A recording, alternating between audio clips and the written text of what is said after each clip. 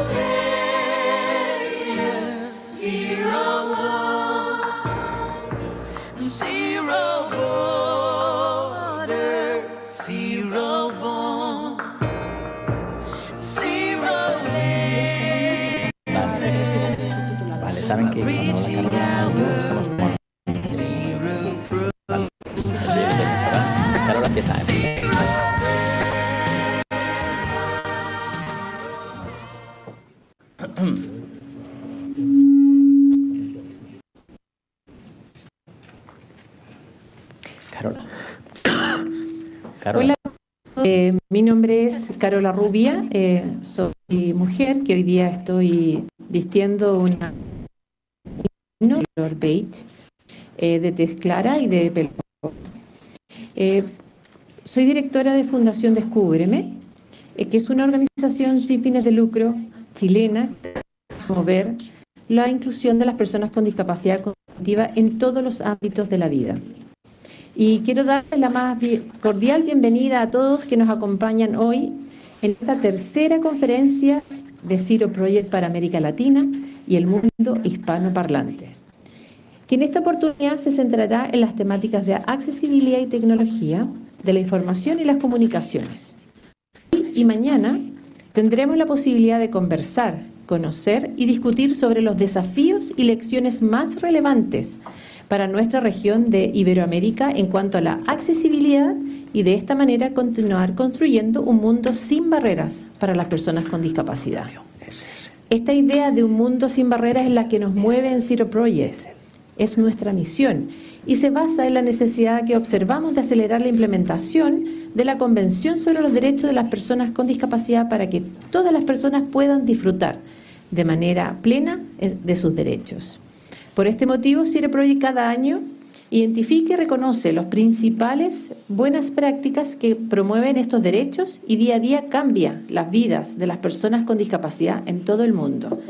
Este es un año muy especial, no solo porque es la primera vez que estamos realizando una parte de esta conferencia presencial aquí, en Madrid, sino también porque nos hemos unido con nuestros queridos amigos del Grupo Social 11, quienes se destacan por su incansable trabajo por la inclusión en todo el mundo hispanoparlante desde hace ya muchísimos años y que juntos estamos trabajando para expandir este objetivo por un mundo sin barreras hacia América Latina y la comunidad hispanoparlantes. Por lo mismo, tengo el placer de presentarles a quien será mi partner durante esta ceremonia de apertura y un querido amigo desde hace bastante tiempo, Javier Gómez Pedraza. Muy bien, pues muchas gracias Carola por esta bienvenida y desde luego muchas gracias también a todos los que estáis presentes hoy aquí en el auditorio y todos los que os habéis conectado a través de streaming. Eh, como bien ha comentado Carola, bueno, yo me llamo Javier Güemes, eh, soy un hombre de tez clara, pelo castaño oscuro y visto una chaqueta azul.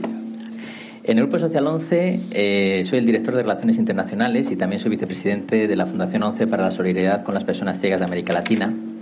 Y cuando a la Fundación Descúbreme se nos acercaron nosotros para fortalecer esta alianza en el mundo hispanoparlante, la verdad es que no tuvimos ninguna duda de lo importante y de lo que podríamos conseguir compartiendo y aportando a esta misión del Cero Project de habla hispana.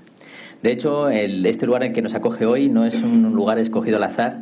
Estamos en Torre Ilunion, que es el centro administrativo del grupo empresarial Ilunion.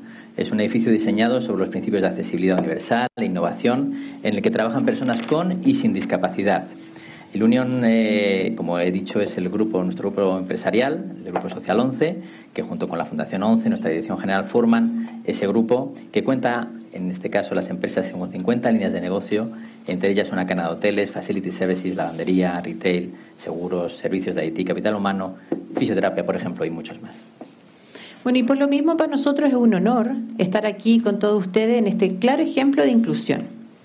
Desde el año 2018, desde que Fundación Descúbreme eh, se encuentra trabajando de la mano con Zero Project para expandir la misión de un mundo sin barreras al mundo hispanoparlantes. Sin embargo, el bajo conocimiento del idioma inglés en nuestra región ha generado brechas y desigualdad en el acceso a la información y junto con esto y las distancias entre nuestros países y continentes también se convierten en barreras para acceder, conocer y compartir diferentes realidades. Esta alianza ha buscado facilitar el acceso a los contenidos y buenas prácticas que han surgido desde Zero Project a los más de 450 millones de personas que hablan español y que representan el 7,5% de la población mundial. Una de las primeras acciones fue traducir al español toda la información relacionada con las iniciativas ganadoras de los años 2020 eh, en temas de educación el tema de empleo y un documento compilatorio de todo el trabajo desarrollado por Zero Project desde el 2013 al 2021, denominado Almanaque Zero Project. También contamos con redes oficiales de Zero Project que son manejadas hoy día 100% en español. Bueno, esta conferencia se va a realizar en un formato híbrido, lo que significa que hoy tendremos algunas sesiones en vivo de manera presencial aquí, desde Madrid, otras serán en vivo de manera virtual y otras fueron pregrabadas para asegurar que todos los expositores de, alto nivel pudiesen acompañarnos. Durante la conferencia, todos vosotros, eh, nuestra audiencia, los que estáis conectados en streaming, podréis conocer e interactuar con cerca de 50 expertos y tomadores de decisiones que provienen de todo el mundo, de los que se han sumado a Zero Project para discutir soluciones, prácticas y políticas innovadoras que promueven la accesibilidad como un derecho humano de las personas con discapacidad. Así que como también eh, podemos destacar en este momento iniciativas tecnológicas que día a día facilitan las vidas y promueven la autonomía de este colectivo.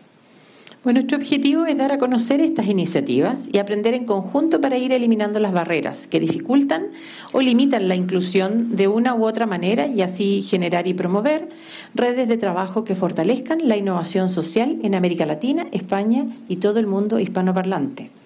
Sabemos que en nuestra región hay muchos esfuerzos que se realizan para promover la inclusión de las personas con discapacidad, pero muchas veces estas iniciativas no se conectan y no se comunican y no logran generar sinergia. Necesitamos fortalecer estos lazos y generar un sentido de comunidad.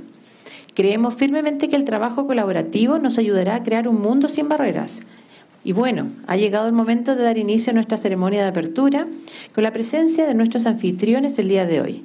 Quisiera darle la palabra a Alberto Durán López, quien es vicepresidente primero del Grupo Social 11 y vicepresidente ejecutivo de Fundación 11.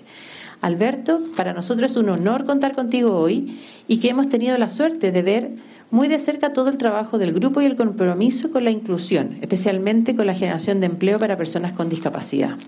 Gracias Alberto por ser nuestros anfitriones el día de hoy. Fundación 11 y, el, y todo el Grupo Social 11 es un ejemplo a seguir en nuestro compromiso, inclusión, responsabilidad, sostenibilidad y tener la experiencia no solo de oírlo, sino de vivirlo, que es muy significativa. Esperamos seguir aprendiendo de ustedes en los próximos días.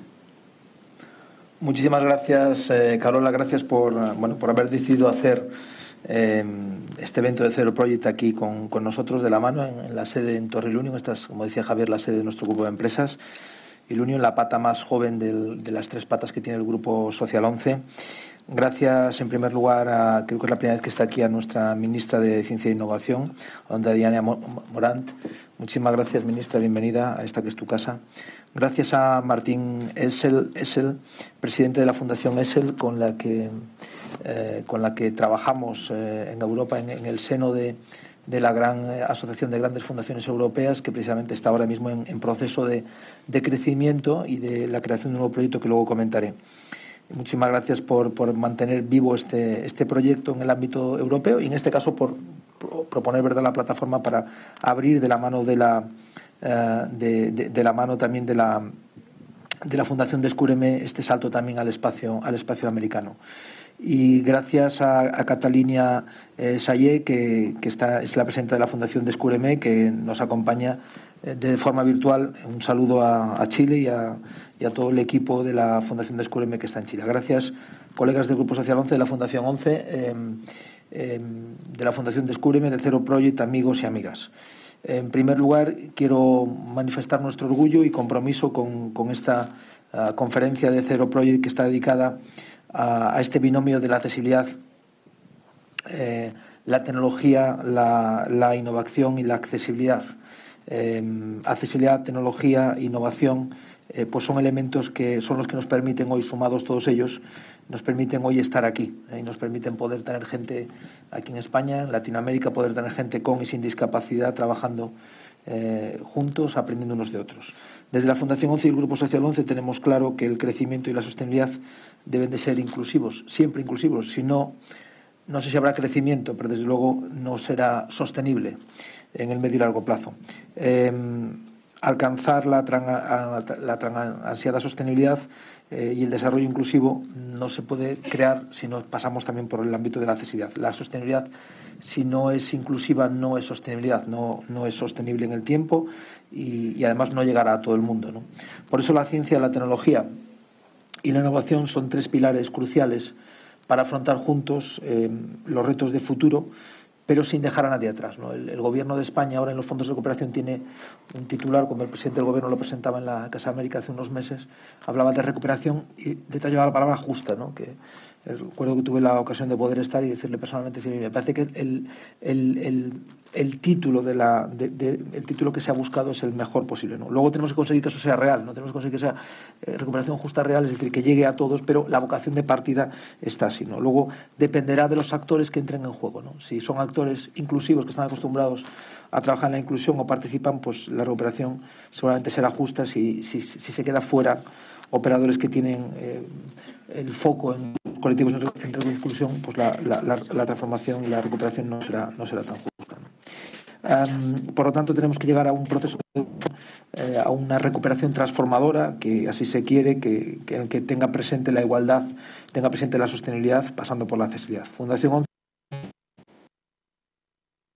El Grupo Social 11 tiene 83 años de historia, casi 84 por la vocación de auto, auto, autoemprendimiento social de las personas ciegas en España en un momento muy complicado en el año en la formación de las siguientes generaciones de ciegos para que pudieran tener un trabajo el día de mañana, los ciegos que van viniendo a la organización, la preocupación por la accesibilidad de las personas ciegas, luego de otro, con otro tipo de discapacidades, las personas sordociegas, que también es un reto importantísimo la, la posible inclusión y que proyectar a las más altas cotas de excelencia también, eh, obviamente con su esfuerzo, pero también con nuestro apoyo. Somos más de 73.000 personas, es el mayor con discapacidad y el cuarto de España total. Por esos 73.000 son personas con discapacidad y por son mujeres.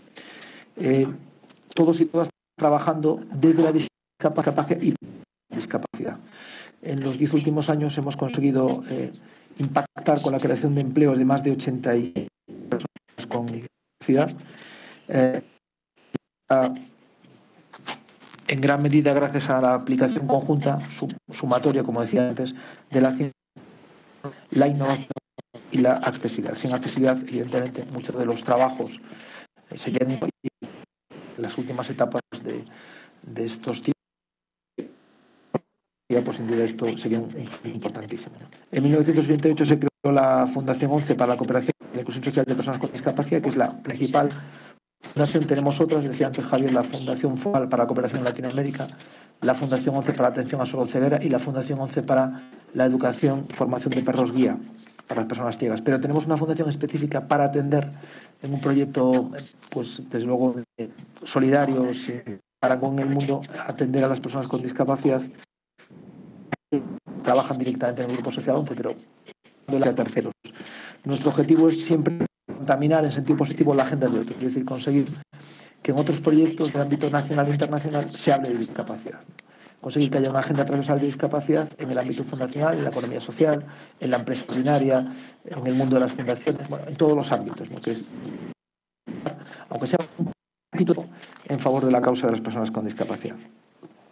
Eh, todas las iniciativas que tenemos, que tenemos de formación, de empleo, de eliminación de barreras, barreras físicas, barreras tecnológicas, barreras mentales, que son las principales, todas tienen un denominador común y es mejorar la calidad de vida de las personas con discapacidad, conseguir su visibilidad, los problemas que no son visibles no se arreglan, y eh, darle a las personas con discapacidad muchos motivos o algún motivo todos los días para salir de casa todos los días. Eso es el principal motivo. Bien para trabajar, para educarse, para eh, tener espacios de ocio, eh, para hacer vida en sociedad, para participar, para actuar en la vida política, en la vida pública, en definitiva. ¿no? Y, ya decía, eso principalmente lo hacemos a través del pilar del empleo, de la formación que es necesaria para llegar al empleo y de la accesibilidad, de la eliminación de barreras para intentar que no existan discriminaciones palpables que impidan que las personas con discapacidad lleguen a los objetivos personales que, deben de tener. Acuerdo con nuestra eh, misión y en el contexto que se produjo en la pandemia y en la pospandemia en el año 20, eh, por haber empezado ya en 1916 a preocuparnos mucho e intensamente por la formación de personas con discapacidad en competencias digitales, conseguimos en el año 2020, a pesar de que fue un año tremendo, eh, tremendo de malo, ¿no? pero también de enriquecimiento personal de todos, mucha gente que trabajaba en el proyecto y de muchas empresas y de muchas personas ajenas vinieron a donarnos a nuestra disposición aquello que ellos tenían, mascarillas, respiradores, eh, comida, ropa, para poder distribuirlas colectivos, en aquellos grupos de interés que más lo necesitaban. Y eso para nosotros fue un salario emocional importantísimo. Ver a gente que estaba en, un, en ERTE por la mañana y que por la tarde venía de voluntario a trabajar, a hacer mascarillas, a hacer batas, para nosotros fue eh, un redoble de una potenciación de nuestro sentimiento de, de, compromiso y de saber que estábamos en el buen camino. Pues ese año, decía, en el año 2020 se consiguieron 7.918 empleos para se formaron 13.251 personas y se pusieron en marcha más de mil actuaciones en el ámbito de la accesibilidad.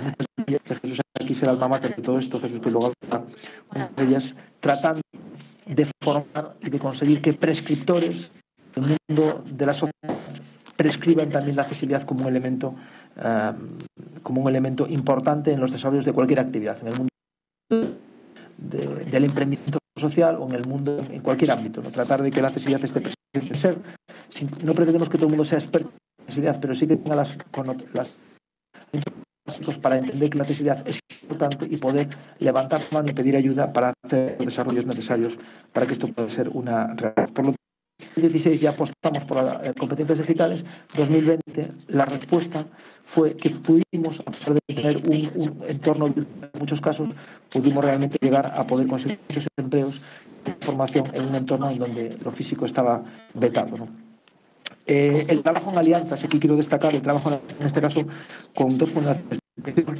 Es el, ¿no? gracias Martín por, por contar con nosotros, eh, el Centro de Operaciones en el seno ahora de La entidad que representa a fundaciones de Europa y que se presenta este lunes, ¿no? tiene su primera asamblea en Barcelona, lunes y martes, quiero recordar, lunes, martes y miércoles creo que es en Barcelona y que nosotros le editamos un cubón que presentaremos el próximo domingo en Barcelona este, a este evento. La Fundación SL y, por supuesto, la Fundación eh, Descúbreme, con la que entramos y queremos desarrollar los mismos proyectos en el ámbito latinoamericano. Creo que el poner la filantropía en la filantropía en general, poner eh, en su agenda también la discapacidad, pues es un valor añadido.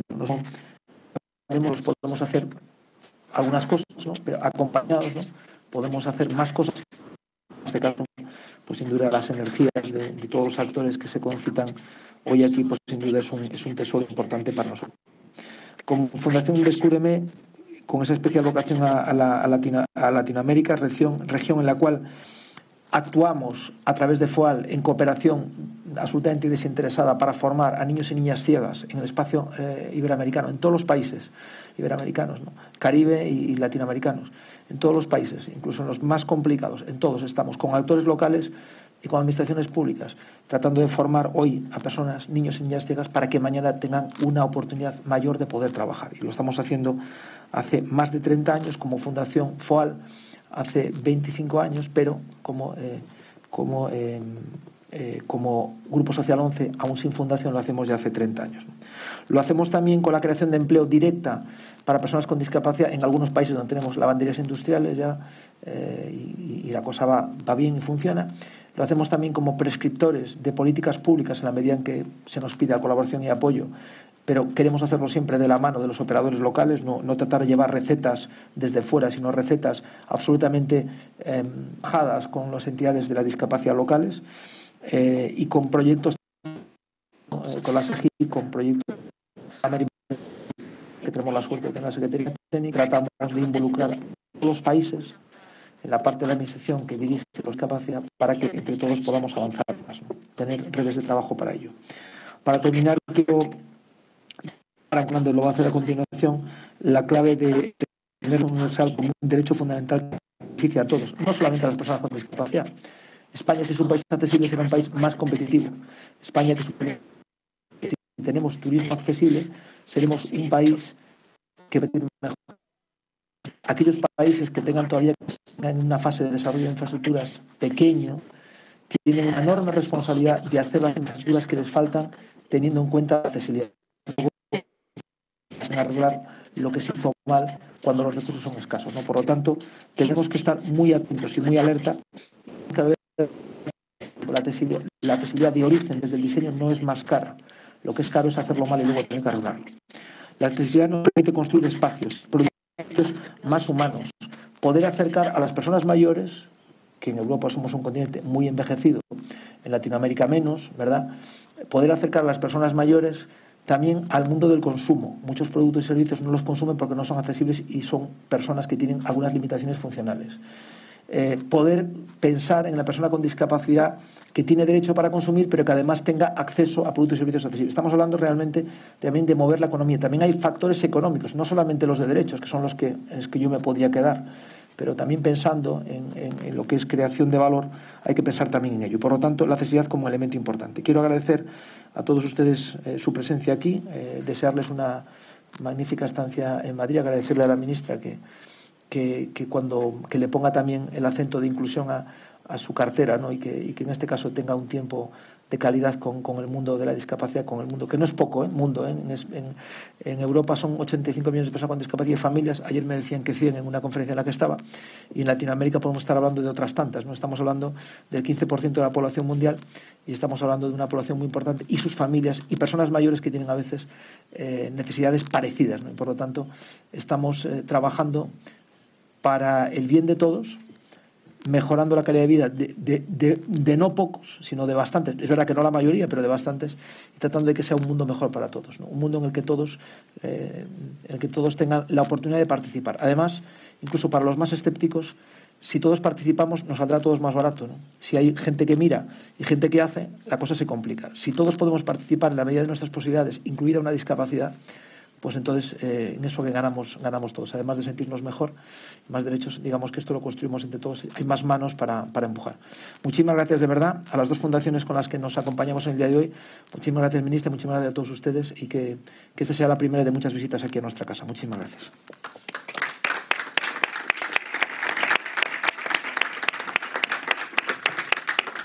Muchas, muchas gracias, Alberto. gracias Alberto por estar aquí con, nosotros. Y para em, vamos a dejarlos con Catalina Sayé, que es la presidenta de la Fundación Descúbrame, que ha inspirado con, su visión respecto a la inclusión de personas con discapacidad y que ha impulsado y acompañado cada paso de la Fundación Descúbrame en el camino a medida que se ha ido desarrollando. Desafortunadamente Cadena no puede estar aquí con nosotros en Madrid, pero sin embargo no ha querido ausentarse de esta oportunidad y nos acompaña remotamente desde Chicago. Catalina, tienes la palabra. Buenos días a todos y a todas. Eh, soy Catalina Sayé, tengo el pelo corto, café, ojos verdes, uso anteojo y visto un suéter color celeste. Quiero comenzar felicitando y agradeciendo a cada uno de, aquellos que están hoy acompañándonos, en particular a los colaboradores de Fundación ESUN, que impulsa año a año el proyecto Zero Project. También a, la fundación, a nuestra Fundación Descúbreme, en apoyo de Fundación 11 por organizar la tercera versión de la conferencia Zero Project para Latinoamérica, el Caribe y la comunidad hispanohablante sobre accesibilidad y tecnología de la información. Para la Fundación Descúbreme es realmente un privilegio ser parte de esta convocatoria y continuar impulsando las soluciones altamente innovadoras para la inclusión de personas con discapacidad. Fundación Descúbreme nace con la misión de impulsar la inclusión integral de las personas con discapacidad cognitiva en diversos ámbitos del desarrollo humano. Hace algunas semanas tuvimos nuestro aniversario número 12, ocasión que nos motiva para continuar nuestro compromiso por visibilizar las problemáticas que enfrentan las personas con discapacidad. Hemos impulsado avances y colaborado en numerosas iniciativas para promover la participación de este colectivo en el mercado laboral abierto con el fin de contribuir en la construcción de entornos laborales inclusivos y diversos. En este sentido, en Chile, la promulgación de la Ley de Inclusión Laboral en TML 015 ha contribuido enormemente a acelerar este proceso. Sin embargo, se ha evidenciado que aún existen numerosas barreras que impiden la inclusión de las personas con discapacidad en ámbitos tan diversos como lo es, por ejemplo, la accesibilidad universal y las tecnologías de la información. En nuestra voluntad por impulsar la inclusión de las personas con discapacidad, hemos forjado diversas alianzas con organizaciones tanto nacionales como internacionales para fomentar el trabajo colaborativo entre instituciones. En esa búsqueda que fue que formamos nuestra alianza con Zero Project. Cada año, Zero Project reúne expertos y a los mejores proyectos en temas claves como educación, empleo, accesibilidad, vía independiente y, y participación política y Tecnologías de la Información y las Comunicaciones, que se encuentran contenidos en la Convención de los Derechos de las Personas con Discapacidad de las Naciones Unidas. El impacto y la trayectoria de Zero Project se ven reflejados desde 2013 hasta la actualidad en la premiación de más de 700 soluciones innovadoras provenientes de más de 70 países del mundo.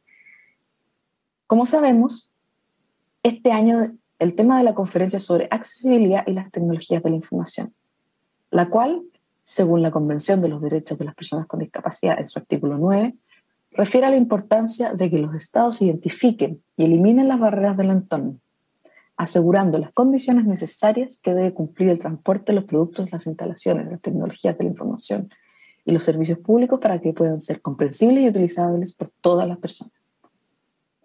De acuerdo a las cifras que entrega el Servicio Nacional de Discapacidad, que datan en 2015, en Chile, las ayudas técnicas, servicios de apoyo y entornos accesibles más utilizados por las personas con discapacidad son el uso del computador portátil, 26%, el rebaje de la acera, casi un 16%, el computador del hogar, un 15%, las rampas de acceso, casi un 15%.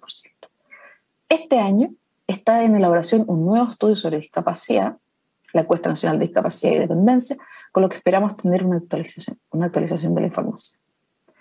Según el plan de Chile Accesible del año 2017, se proyectó que quienes, aquellos que hacen uso de las medidas de accesibilidad en Chile, superará más del, más del 40% de la población. Cifras que van en aumento. Estos últimos dos años, debido a la pandemia por COVID-19, se han generado nuevas oportunidades y desafíos para la innovación en temas de accesibilidad, sobre todo en, en transporte y movilidad humana, el uso de los diversos espacios públicos para la recreación, ocio, el acceso y el uso de tecnologías que permiten acceder a la información, la cultura, entre muchos otros ámbitos. En particular me quiero detener en este punto. Y es que una de las grandes oportunidades que se han presentado en temas de accesibilidad tienen relación al turismo accesible, temática que se ha destacado en diversas iniciativas ganadoras de este año y que se han posicionado como una solución relevante para la recuperación económica post pandemia. Creemos que sin lugar a duda que promover e impulsar iniciativas innovadoras que representen los intereses de las personas con discapacidad es el camino para garantizar sus derechos y para la construcción de un mundo sin barreras, en el que todas y todos participemos plenamente de los diversos espacios disponibles. Los dejo cordialmente invitados a participar hoy y mañana en las distintas sesiones de la conferencia. Podrán contar con la exposición de más de 50 expertos en discapacidad diversos temas relacionados a la accesibilidad y las tecnologías de la información. Podrán conocer las 17 iniciativas provenientes de Iberoamérica, sus buenas prácticas y principalmente descubrir los proyectos que han destacado por sus grandes aportes para este colectivo, pero, pero particularmente por ser escalables y replicables. Muchas gracias y que disfruten de estos días.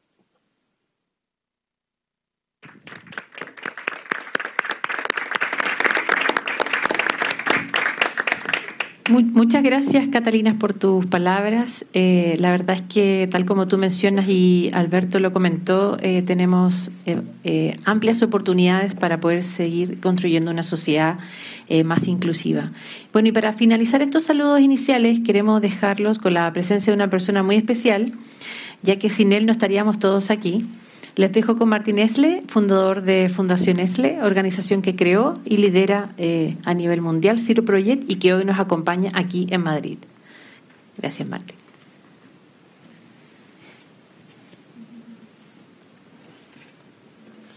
Buenos días. Uh,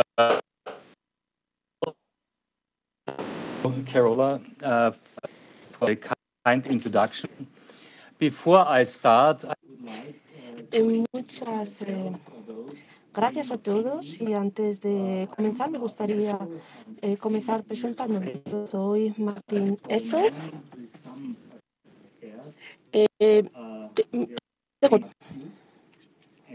tengo, aproximadamente 50 años este, o llevo una Realmente contento de estar aquí hoy en, en, Madrid y de participar en esta conferencia. Desafortunadamente el español no es mi lengua materna, el alemán es mi lengua materna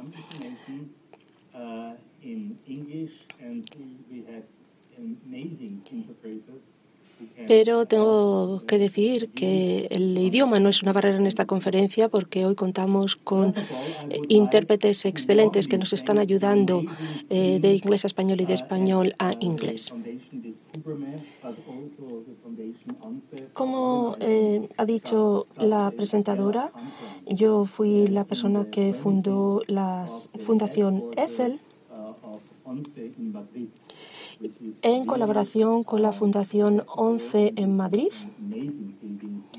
Y me gustaría decir que el edificio en el que nos encontramos hoy en la Fundación 11 en Madrid es eh, fantástico en términos de accesibilidad y por lo tanto hoy representa para todos nosotros la oportunidad de celebrar esta alianza continua que hemos establecido entre la 11 y mi fundación también eh, celebrar la continua colaboración que tenemos entre Latinoamérica, Chile, España y Europa. Por lo tanto, seguimos eh, trabajando en nuestra misión eh, continua de llevar adelante políticas innovadoras, nuevas y positivas e inclusivas.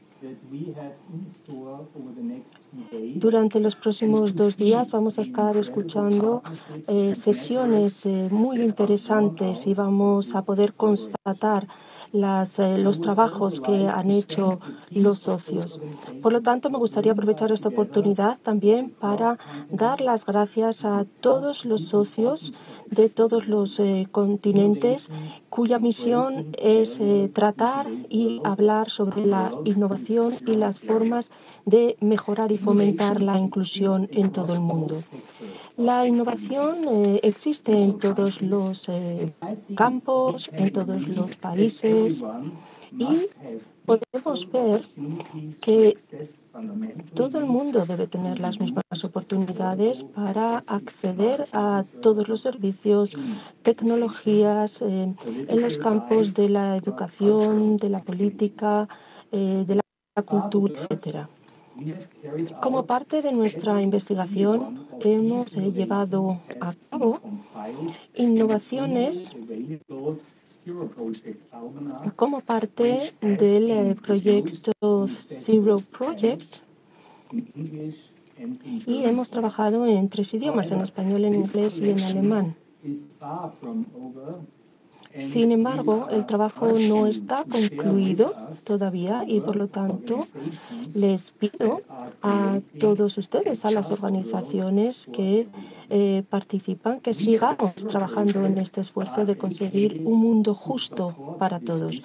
Nuestro trabajo va dirigido a apoyar a todos aquellos que lo necesitan mediante la innovación, mediante la identificación de las eh, que puedan conducir a una mejora de la vida de todos los ciudadanos. Y, trabajando de esta manera, en los últimos años, el proyecto Zero Project se ha convertido en una red única que acoge a miles de expertos procedentes de cientos de países.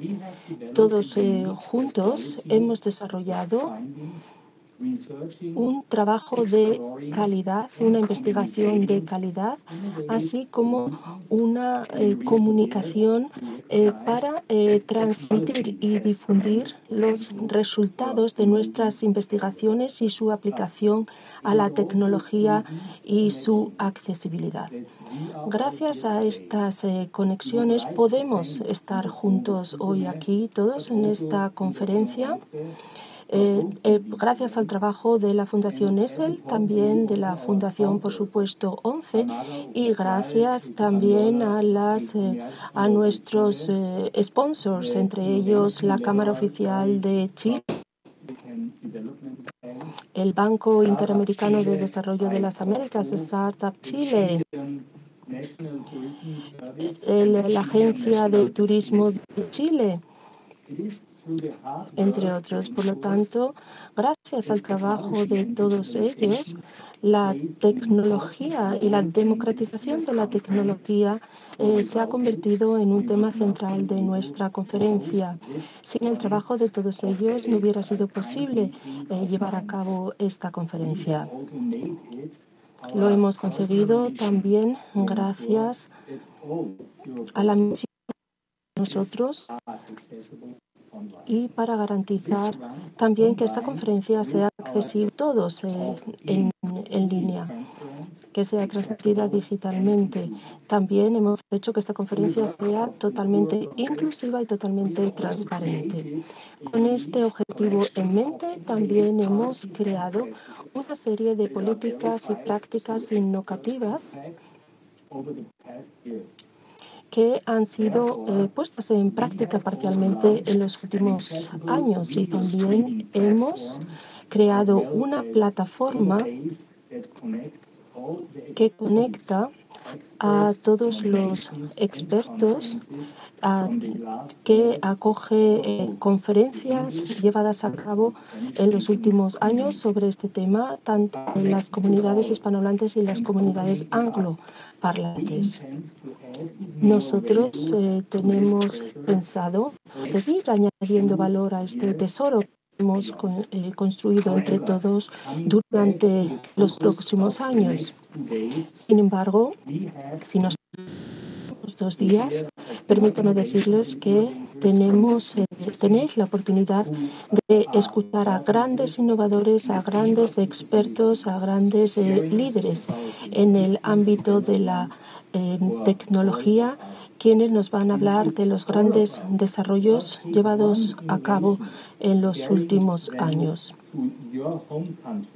Si eh, todas y cada uno de vosotros se pueden eh, llevar de vuelta a sus países una práctica innovadora, yo creo que estaremos contribuyendo de esta manera entre todos a construir un mundo más accesible.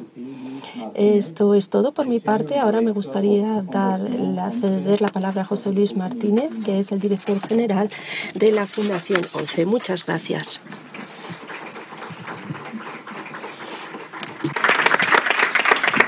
Muchas gracias, Martín, por acompañarnos el día de hoy y bueno, por confiar tanto en Grupo Social 11 como en Fundación Descúbreme para eh, poder realizar la tercera conferencia de Zero Project en este fabuloso edificio 100% accesible. Bueno, la colaboración con el sector público es también fundamental para avanzar en la plena inclusión de las personas con discapacidad, sobre todo en materia de innovación. Y por eso quisiéramos también agradecer y, resaltar la, presencia en esta ceremonia de la ministra de Ciencia e Innovación del Gobierno de España, doña Diana Morant, y también agradecer en su persona al Gobierno de España por, el apoyo a dos personas, dos candidatas de 11 a los órganos de tratado. Una es Ana Peláez, que tiene su candidatura para la Convención sobre la Eliminación de todas las formas de discriminación contra la mujer y Natalia Aguala para la Convención sobre los Derechos de las Personas con Discapacidad. Eh, muchas gracias, ministra, también por ese apoyo y tiene la palabra. Buenas, buenas tardes. Buenas, ¿se oye? Hola. Ahora, mejor, sí. Pues buenas tardes a, todos y a todas. Alberto Durán, vicepresidente primero del Grupo Social 11. Catalina Sayé, presidenta de la Fundación Descúbreme. Martín Els, presidente de la Fundación Els. A Carola, a Javier, a Jesús, bueno, y a todos los participantes de este encuentro. Muchísimas gracias por vuestra invitación y por hacerme partícipe de estas jornadas. Yo soy una mujer eh, de tez clara, tengo 41 años, tengo pelo castaño y visto con una camisa blanca. En primer lugar, quisiera reconocerles el trabajo constante y significativo que realizan desde sus organizaciones, muy especialmente al Grupo Social 11, que hoy además nos acoge en su casa, pero también quisiera expresar mi gratitud y mi reconocimiento al trabajo realizado a través de la iniciativa Zero Project, perteneciente a la Fundación ESEL, y también a la Fundación Descúbreme, porque vuestra labor contribuye a que tengamos un mundo más justo y más igualitario. Estoy segura de que vuestras experiencias e iniciativas van a servir para ayudar a las personas con discapacidad. Cuando pensamos en la ciencia, solemos apelar a la historia de los grandes descubrimientos. Reducimos la complejidad de los procesos de investigación a los eventos y los hitos más significativos. El resultado se antepone a las decisiones de los científicos y científicas o al trabajo cooperativo de los equipos de investigación que quedan invisibilizados. A veces las metáforas de la ciencia limitan su comprensión. Pensamos en ella como un todo uniforme que irrumpe de la nada y nos produce una fascinación indescriptible. Tal vez porque no llegamos a comprender, por ejemplo, cómo unos cables interconectados dentro de un dispositivo nos permiten comunicarnos con personas a miles de kilómetros de distancia, o cómo la mezcla de dos reactivos químicos o la unión de dos compuestos en una probeta nos proporcionan diagnósticos precisos y posibles curaciones a muchas enfermedades. Como ministra de Ciencia e Innovación, me gusta más reparar en el trayecto que va desde la idea a su materialización práctica que en los mitos y leyendas en torno a la investigación. Es como ante una necesidad, la ciencia responde con un entramado de códigos y procedimientos poniendo en marcha toda la maquinaria que repara problemas y plantea puentes y soluciones. No debemos pensar en la tecnología sin valorar sus implicaciones sociales, sin advertir que su diseño y sus usos pueden favorecer, por ejemplo, la inclusión de las personas con discapacidad. Porque nada, tampoco la tecnología, es neutra. La autonomía de los colectivos, los colectivos con discapacidad, sus prácticas educativas y de empleo, su ocio, sus consumos culturales, mejorarán si dejamos de concebir la tecnología como algo inalterable e inamovible. Las máquinas, los dispositivos no se articulan por sí mismos. Somos nosotros y nosotras, con nuestras diversidades, los que definimos sus funciones. Es con esta lógica con la que debemos pensar en las implicaciones de la tecnología. Debemos procurar espacios para lo diverso, sin obligaciones y con las especificidades de cada uno de nosotros. Siempre con la máxima de que la tecnología sirva para mejorar la vida de las personas y de no mantenerlas al margen de los cambios y de las nuevas innovaciones. La ciencia y la tecnología como cuidado, como salvaguarda, como garantía de inclusión y de cohesión social. En definitiva, el poder de la investigación al servicio de la igualdad de oportunidades. El desarrollo de este paradigma pasa indiscutiblemente por la cooperación de ideas y experiencias la fortaleza del conocimiento. Su en proyectos a pie de calle, en el día a día de las personas, implica reunir en foros como este a administraciones públicas, a gobiernos, organizaciones del tercer sector y asociaciones de personas con discapacidad. La colaboración, dando una mirada más allá de las disciplinas y de los países, incluso de sus fronteras, superando los compartimentos estancos a los que sometemos la reflexión y la elaboración de soluciones, con la cercanía a las necesidades y la tecnología y la ciencia como herramientas de cambio. Pero también,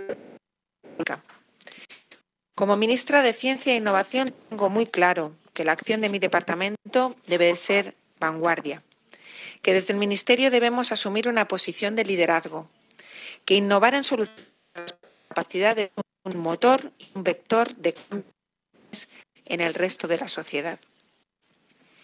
A partir de la financiación pública a través de las universidades y centros de investigación, se están realizando múltiples proyectos que buscan mejorar la calidad de personas con con la accesibilidad.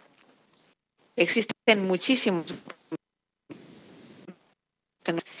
generando el se traducirán que descansan en la robótica o la inteligencia artificial. Y por tanto, con las necesidades, las necesidades con las soluciones prácticas. Y voy a ponerles solo algunos ejemplos que utilicen como una pequeña muestra. Los estudios en torno al nuevo paradigma de rehabilitación, la rehabilitación robótica acuática, para pacientes con un rango de movimiento limitado que están siendo elaborados por la UNED de Elche. Otro ejemplo es la investigación para que el ojo biónico sea una terapia de restauración visual plante de cóclea impulsado desde la Universidad de Sevilla. Otro sería eh, protésicos personalizables para la asistencia promovido por la Fundación Hospital Nacional de Parapléjicos o hablarles de la evolución y asesoramiento para la mejor eficiencia y eficacia de la tecnología de apoyo de la Universidad de A Coruña, que pretende obtener la mejor evidencia sobre el impacto de la tecnología de apoyo basada en inteligencia para que se mejore la vida de una persona con discapacidad. La transformación de todo este conocimiento que está ahora mismo desarrollándose, investigándose en nuestras universidades, en nuestros centros de conocimiento. Como digo, la transformación de este conocimiento en soluciones aplicadas a la vida cotidiana de las personas debe disponer de una infraestructura de investigación robusta. Así lo hemos planteado promoviendo programas como las misiones de ciencia e innovación a través del Centro para el Desarrollo Tecnológico Industrial, el CEDETI, o con el Plan de Transformación, Recuperación y Resiliencia, que, como destacaba el presidente, es un plan para una recuperación justa. Los resultados de este plan son importantes, como por ejemplo el primer exoesqueleto pediátrico del mundo que ha sido descubierto por una científica nuestra, española, desarrollado, por tanto, y fabricado en España. De esta experiencia me gustaría contaros eh, lo que ocurrió hace solamente un mes. Un niño, Jorge, de 11 años, para su cumpleaños pidió ponerse por primera vez de pie delante de sus compañeros de clase y lo hizo gracias a este exoesqueleto. Por tanto, la ciencia dirigida a, a solucionar la vida de las personas. Esa es la voluntad que tenemos, la voluntad que nos mueve hacia la acción política y con la máxima de que la tecnología se debe adaptar a las personas y no al revés. La tecnología debe ser útil, debe evitar las exclusiones, debe acortar distancias y derribar barreras. No solo desde las metáforas o las buenas palabras, también haciendo política, legislando con implicaciones y consecuencias sociales. Voy concluyendo. Sé que muchas de las cuestiones ya les son conocidas organización en América Latina cuya labor coincide con los propósitos de la iniciación. Los colaboramos y cooperamos para alcanzarlos. Los derivados de las revoluciones digital y tecnológica son importantes. Su ritmo de implantación implica estar en alerta continua, generar y compartir experiencias conjuntas y superar barreras, fronteras y disciplinas. Sin caer en un falso solucionismo tecnológico, debemos ser conscientes de la potencialidad de la tecnología como eje y motor de cambio social. Y también resaltar cómo desde la acción política y gubernamental se puede y se debe garantizar la inclusión digital y tecnológica. Ante la erosión constante de la política y de sus representantes queda este legado. La cooperación entre administraciones públicas, empresas, organizaciones del tercer sector, colectivos y usuarios, la posibilidad de atender a las necesidades de la ciudadanía y en concreto a las personas con discapacidad, no desde la compasión o el, eh, asistencialismo, sino reivindicando su autonomía, favoreciendo su inclusión plena y asumiendo que la diversidad también es progreso. Muchas gracias y les deseo unas jornadas muy productivas.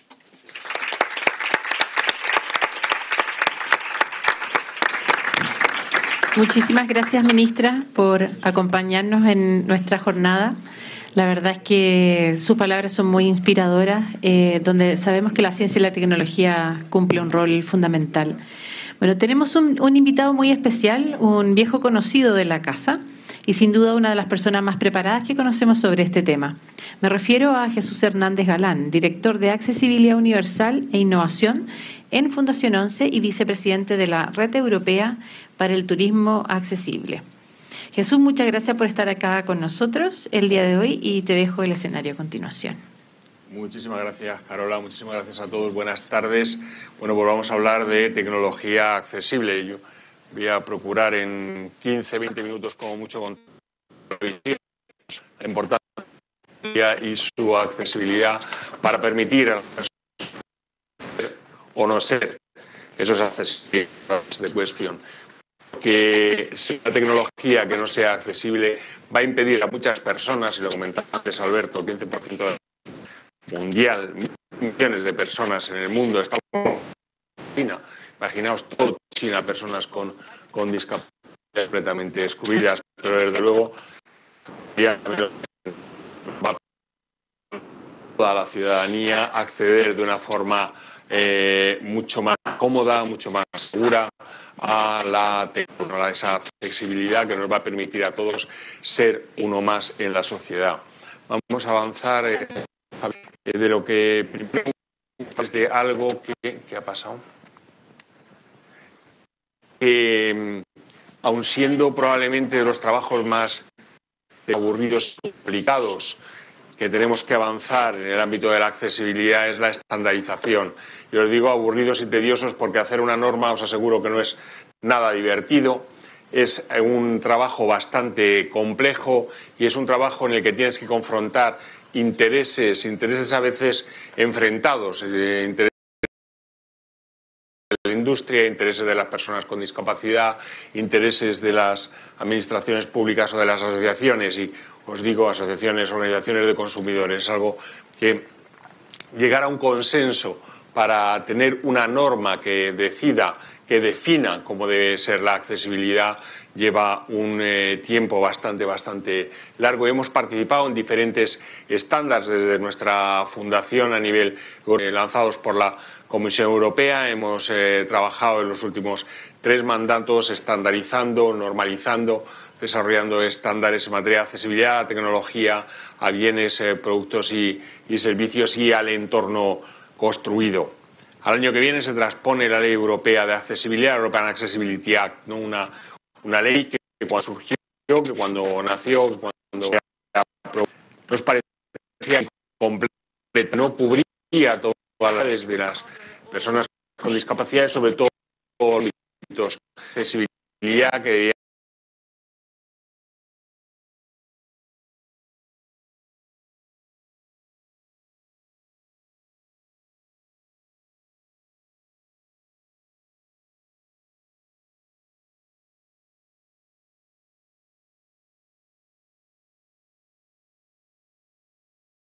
El mercado europeo es un gran mercado, es un, el por tamaño es un eh, mercado muy interesante para cualquier fabricante a nivel global, a nivel mundial de tecnología y esto va a significar un impacto muy positivo en la accesibilidad a la tecnología a nivel mundial, porque cualquier compañía fabrique donde fabrique, ya sea en Europa, ya sea en Corea, ya sea en Japón o en Estados Unidos, que quiera en Europa va a tener que hacerlos de forma accesible y por ende va a eh, significar, como decía antes, eh, un impacto muy positivo a nivel mundial. ¿Y cómo garantizamos que ese cumplimiento de la legislación es efectivo a través de la certificación? Y por eso pasamos, Javier, desde la Fundación 11 hemos desarrollado algunos esquemas de certificación propios para certificar la accesibilidad de productos tecnológicos.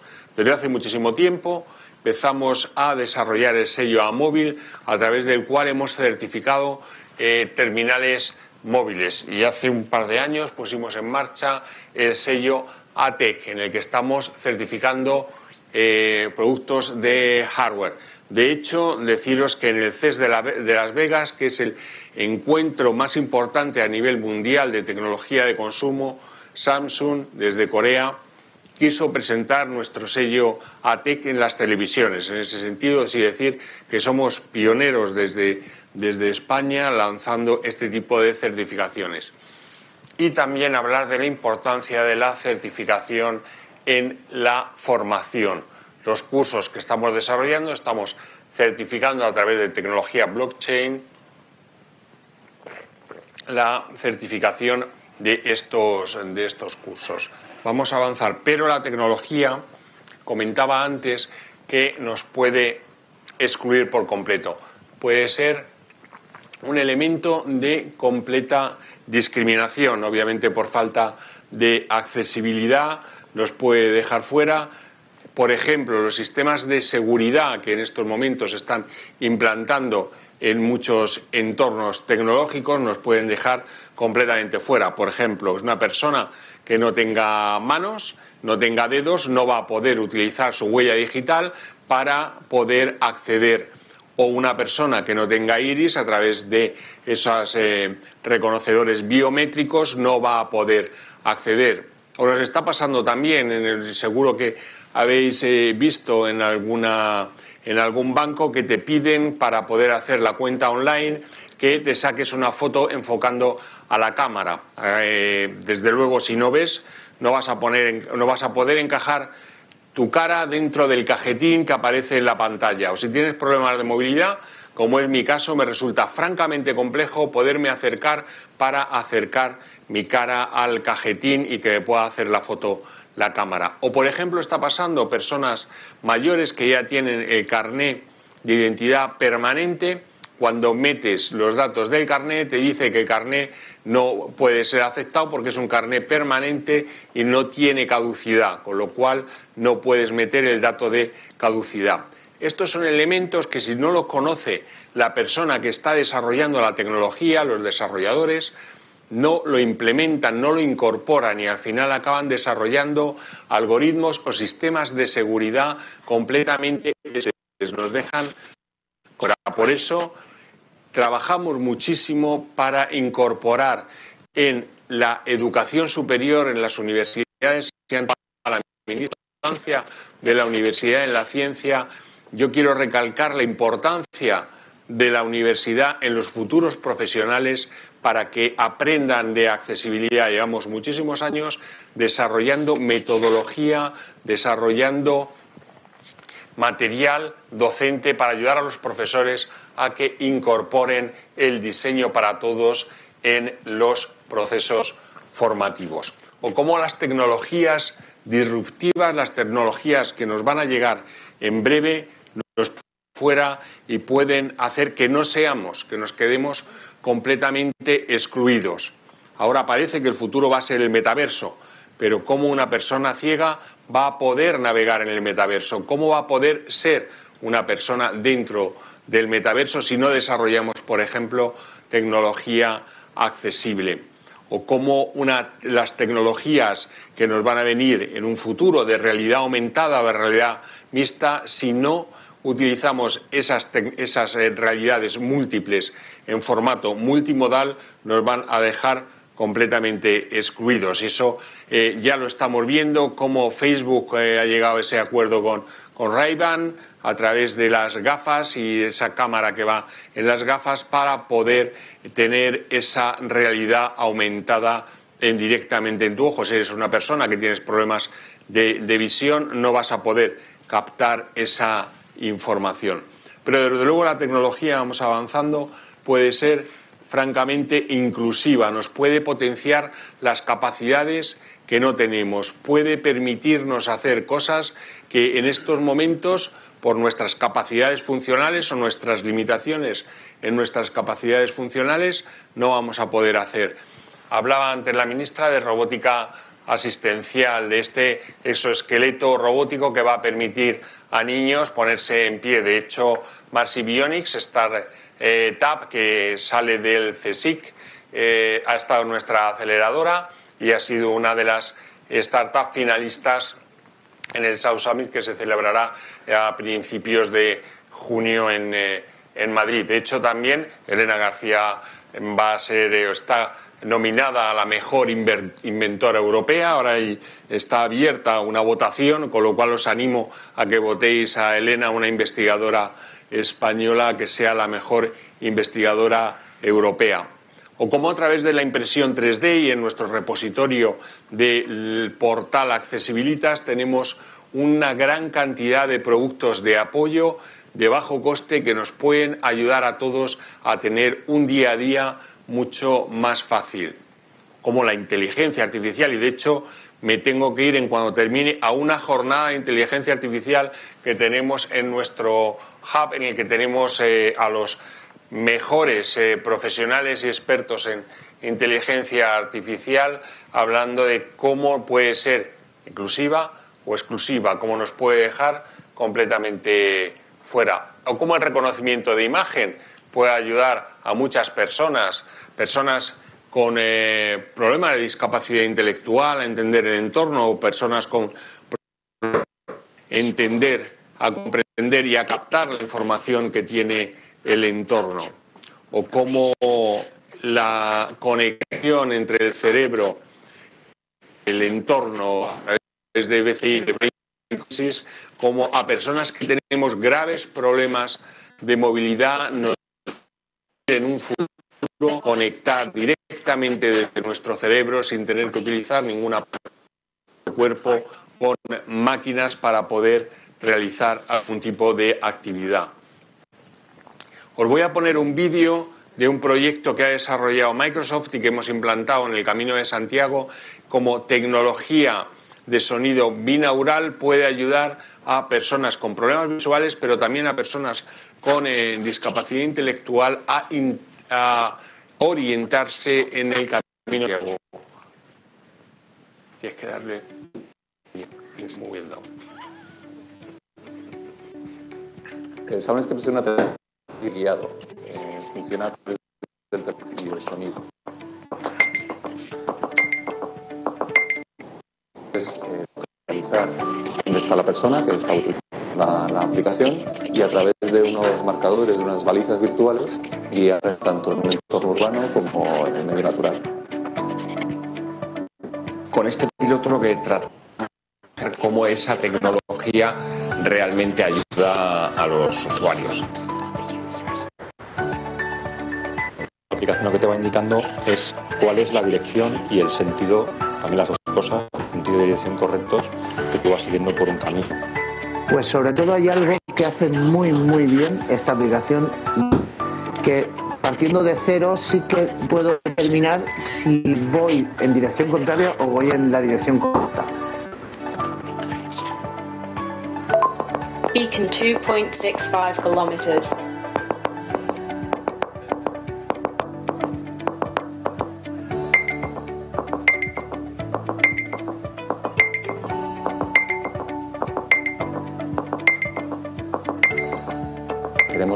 Nuestro software sea accesible para personas con discapacidad y ahí 11 y Fundación 11 juegan un papel fundamental a la hora de decirnos qué cosas tenemos que mejorar, qué cosas tenemos que incluir para que el software sea realmente accesible.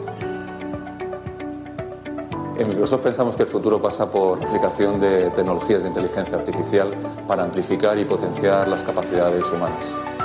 Yo creo que nos quedan ámbitos de colaboración que todavía ni nos imaginamos, porque la tecnología está yendo tan rápido, Microsoft está siendo tan puntero en el desarrollo de tecnologías disruptivas, emergentes, que seguro que en pocos años estaremos colaborando en ámbitos que ahora mismo no somos capaces de definir. Bueno, vamos a pasar al siguiente. Bueno, otro proyecto en el que estamos trabajando con la Junta de Andalucía es en el ámbito de los incendios forestales y la evacuación. Es algo que nos preocupa muchísimo. Toda la seguridad que podamos tener las personas con discapacidad en algún evento de estas características. ¿no? Y cómo comunicarte con una persona, sobre todo con problemas auditivos, con discapacidad intelectual, problemas visuales, eh, cómo comunicarte con esa persona para que tenga toda la información a la hora de realizar una evacuación y hemos desarrollado una aplicación para poder ayudar a todos los sistemas de emergencia, a todos los cuerpos de seguridad del Estado, para poder eh, mejorar eh, la seguridad de los ciudadanos con discapacidad en este, en este tipo de eventos. Avanzamos. Otro proyecto que hemos puesto en marcha junto con Microsoft, basado en inteligencia artificial, y centrado en personas con discapacidad intelectual es un sistema para evaluar las habilidades blandas. Como sabéis, las habilidades blandas son muy evaluadas a la hora de acceder a un puesto de trabajo en procesos de selección.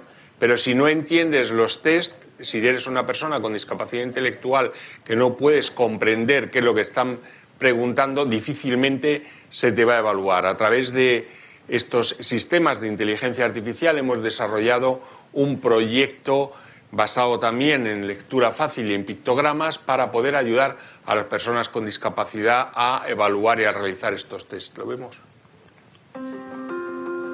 Hoy en día, las empresas no solo utilizan los currículums para valorar la experiencia profesional y la formación educativa de los candidatos a un puesto de trabajo, sino que también evalúan otras habilidades, llamadas habilidades blandas o soft skills. Entre ellas se encuentran la capacidad de adaptación al cambio o la inteligencia emocional. Esto mismo ocurre cuando se quiere acceder a una formación especializada o profesional. Según LinkedIn, entre las habilidades blandas más relevantes en 2021 nos encontramos con responsabilidad dentro de la ética del trabajo, adaptabilidad e inteligencia emocional, rasgos de la personalidad que hemos elegido para ser evaluados a través de la aplicación GOSA. El objetivo principal de GOSA es que las personas con discapacidad puedan acceder a pruebas de evaluación de habilidades blandas en un entorno inclusivo, accesible, atractivo, divertido y personalizable gracias a la incorporación de la inteligencia artificial y la gamificación. La inteligencia artificial está incluida a través de los servicios cognitivos de Microsoft, mientras que también se ha desarrollado un sistema de gamificación en forma de puzzle para animar al usuario a continuar hasta el final. A la aplicación se accede a través de un portal web accesible para personas con discapacidad, desde visual hasta cognitiva, pudiendo elegir para este último colectivo entre lectura fácil, storytelling o ambas. Acompañando a nuestro personaje por tres breves experiencias, somos capaces de evaluar los aspectos de la personalidad, responsabilidad, adaptabilidad y edad emocional. Gosa, un proyecto de Fundación 11 con el apoyo de Microsoft. Bueno, y para finalizar os voy a contar un proyecto de que pusimos en marcha ya hace unos años a través del análisis. Nosotros trabajamos mucho procesos de innovación abierta. Detectamos, eh, dialogando eh, y aflorando problemas con eh, el movimiento asociativo de personas con discapacidad, donde entornos en los que nos encontrábamos los principales problemas y uno de los entornos que se plantearon fue el del transporte, ¿no? cuando en grandes espacios de transporte tienes que eh, desplazarte largas distancias, sobre todo hacer intercambios, y decidimos poner en marcha este proyecto de robótica asistencial para ayudar en los desplazamientos y en la orientación. Ministra, es un proyecto que ya está certificado 100% como, como I+.D., también están certificados eh, los ODS, o sea que es un proyecto completamente sostenible y es un proyecto 100% I+.D., es un proyecto que hemos utilizado para deducciones fiscales, con lo cual estamos en la línea de los instrumentos que, que desde el, Gobierno se nos, eh, se nos plantean ¿no? y se nos permiten. Os voy a, vamos a poner este vídeo para que... El proyecto Access Robots Transporte desarrolla los primeros robots asistenciales en grandes espacios, como son hospitales, centros comerciales, estaciones de tren o aeropuertos, entre otros. Estas imágenes muestran al robot mapeando de forma autónoma el entorno de un gran centro comercial. Las grandes cristaleras de los escaparates y ajustar el tipo de neumático a cada superficie han sido solo algunos de los retos a los que nos hemos enfrentado. Estas imágenes muestran las pruebas realizadas con el robot en nuestras instalaciones de Espacia. Gracias a la colaboración de usuarios atrevidos, pudimos ajustar algunos elementos como son los pulsadores de parada y marcha, medir la altura del asa principal, los ajustes de la interfaz, los sensores de cercanía y navegación, así como la velocidad de avance del robot. Finalmente, pudimos acceder a una gran estación de tren, como es la estación de Chamartín en Madrid, para realizar las primeras pruebas en un entorno con mayor afluencia de público, de obstáculos y de elementos de navegación, como son los ascensores. Una vez en la estación se procedió al mapeo total, identificando los obstáculos tanto fijos como móviles y temporales, dibujando de manera autónoma un mapa casi exacto de la instalación. Al final de la mañana, el robot deambulaba con una exactitud milimétrica por cada rincón, de extremo a extremo.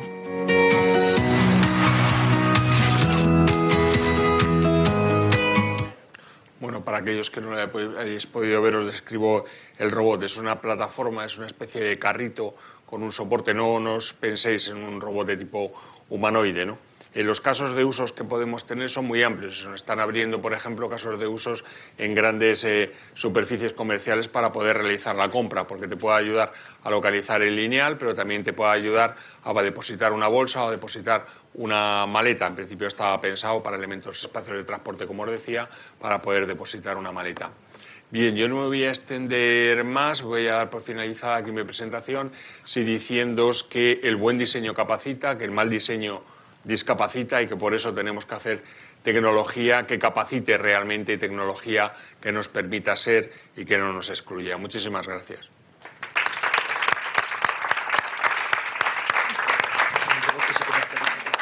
Muchísimas gracias Jesús por compartir estas iniciativas y bueno la oportunidad que tuvo nuestra audiencia eh, online de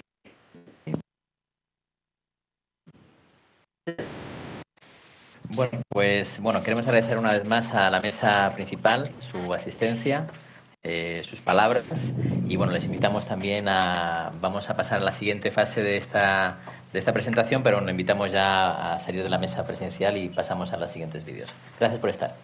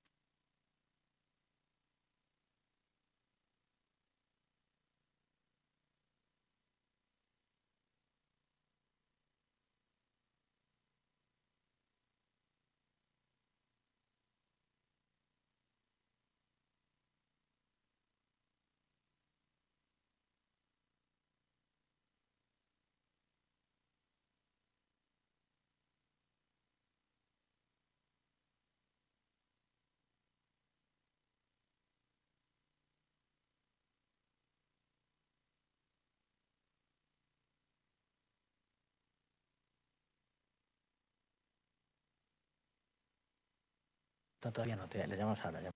¿Lo? Para continuar con esta ceremonia de apertura, seguiremos dando paso a un breve video de, de bienvenida eh, que nos manda la ministra subrogante de el, la señora Paula Poblete.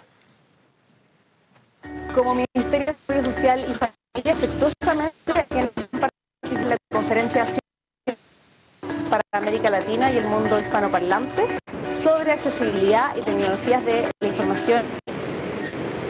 Sabemos Ministerio la importancia y el desafío permanente, todavía más las barreras que limitan a las personas con discapacidad. Por eso eh, destacamos y valoramos este tipo de instancias que unen a distintas organizaciones y que traspasan las fronteras. Como Ministerio de Desarrollo Social y Familia les deseamos mucho éxito y reiteramos nuestro compromiso pleno con la inclusión y conseguir contribuyendo a generar acciones que mejoren la calidad de vida de las personas con discapacidad y sus familias. Muy bien, agradecemos a la ministra Poblete por estas eh, palabras de bienvenida. Y a continuación nos gustaría dejarles con Gabriela Villanueva, que es la directora nacional del Servicio Nacional de Discapacidad del Gobierno de Chile, quien también nos acompaña con un pequeño vídeo de bienvenida. Reciban un saludo fraterno. Primero que todo, saludar a la Fundación Descúbreme y a todos los organizadores de la conferencia Cero Project para América Latina y el mundo hispanohablante. Desde el Servicio Nacional de la Discapacidad del Estado de Chile valoramos tremendamente esta instancia que está generada para conocer, reunirnos en torno a soluciones que son innovadoras, que surgen para promover y hacer efectiva la plena inclusión de las personas con discapacidad en nuestras sociedades. En nuestro país son diversas las iniciativas que como Estado estamos generando y a través de las organizaciones de la sociedad civil estamos realizando en materia también de accesibilidad y tecnologías de información para que nos vamos convirtiendo en un país mucho más inclusivo. Es por eso que hoy día queremos invitarlo a las personas a sumarse a esta experiencia, a ser parte de este tremendo proceso de inclusión porque aún tenemos muchos desafíos y debemos avanzar con celeridad, con con efectivo respeto hacia los derechos de las personas con discapacidad y sus familias. Mucho éxito en esta nueva conferencia de Zero Project 2022 del Servicio Nacional de la Discapacidad. Muchas gracias. Para finalizar, a dejarles la directora subrogante bastante del turismo y la importancia que tiene. Eh, así que eh, aquí nos acompaña un breve video eh, con la señora Beatriz Mann. Desde el Servicio Nacional de Turismo de Chile les quiero mandar un cordial saludo a todos los asistentes del evento. Desde el Gobierno de Chile tenemos una ilusión son ejes transversales. Infórmense de todo lo que está pasando en este evento para así hacer un mejor turismo. Muchas gracias, directora. Y para ir cerrando esta primera parte de la conferencia, me gustaría hacerles un pequeño resumen eh, de las actividades que tenemos preparadas para ustedes el día de hoy. De igual forma, eh, pueden revisar la agenda detallada de hoy y mañana en la página principal de la plataforma latinoamerica.zeroproject.org. Bueno, luego de esta ceremonia de apertura, comenzamos con la primera sesión de principal en la que se Michael Fenbeck, director de Zero Project, y contará con la participación de las expertas Inmaculada Plasencia Porrero, experta senior en discapacidad e inclusión de la Dirección General de Empleo, Asuntos Sociales e Inclusión de la Comisión Europea, así como también con Ana Peláez Narváez, alta comisionada para la solidaridad y la cooperación internacional del Grupo Social 11 y vicepresidenta del Foro Europeo de la Discapacidad. En esta sesión compartiremos experiencias y lecciones provenientes de América Latina y de Europa en cuanto a comprender la accesibilidad como un derecho humano desde la mirada experta de nuestras eh, ponentes.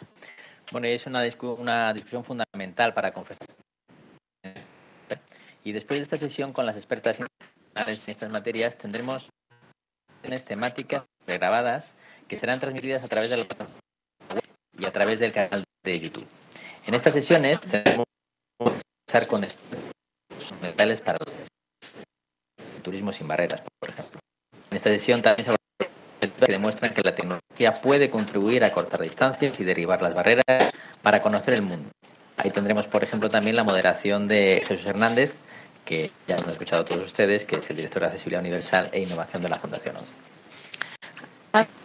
Tenemos la oportunidad de conversar sobre un programa muy especial para nuestra Fundación Descúbreme, que es el programa Innovación para la Inclusión. Esta es una iniciativa liderada por Pacto Productividad Chile y desarrollada con el apoyo del Laboratorio de Innovación del Banco Interamericano de Desarrollo BitLab, eh, Fundación Descúbreme y Zero Project. Se buscó promover la productividad de las personas con discapacidad en el mercado laboral a través de la replicación de innovaciones tecnológicas en Chile. Esta sesión será moderada por Ingrid Rojas, gerente general de Pacto Productividad Chile. Bueno, y para finalizar la jornada tendremos también eh, la oportunidad de conversar sobre otro tema clave en cuanto a la accesibilidad, que es el acceso a la información y la accesibilidad web. En esa sesión se abordan las ventajas de utilizar herramientas digitales para alcanzar soluciones a problemas cotidianos y contaremos con exposiciones provenientes de todo el mundo y con la moderación de Pablo Lecuona, fundador de la Asociación Tiflonexos de Argentina. Bueno, quisiéramos agradecer a nuestros patrocinadores eh, por su generosidad al acompañarnos en esta conferencia. Está la Cámara Oficial de Comercio Española en Chile, el Laboratorio de Innovación del Banco Interamericano de Desarrollo, BitLab, Startup Chile de Corfo, el Ministerio del Trabajo de Chile, el Servicio Nacional de Turismo de Chile, el Servicio Nacional de Discapacidad de Chile, bueno, y eh, hoy día contamos con la ministra de Ciencia y Tecnología del Gobierno español. Con este agradecimiento queremos dar por finalizada la primera parte de esta conferencia para dar paso a nuestra próxima sesión. Para esto invitamos a perdón, eh, invitamos a Plasencia Porrero, eh, a, Ana Peláez y a Michael Fenbeck. Muy bien, efectivamente que son dos mujeres de referencia, eh, sin duda, Carola, como, como lo hemos comentado, y, y, esta conversación, efectivamente, Michael Fenbeck va a ser su moderador. Y bueno, estamos expectantes para escuchar lo que son sus perspectivas respecto a la accesibilidad como un derecho humano de las personas con discapacidad. Les dejamos entonces con Michael. Gracias.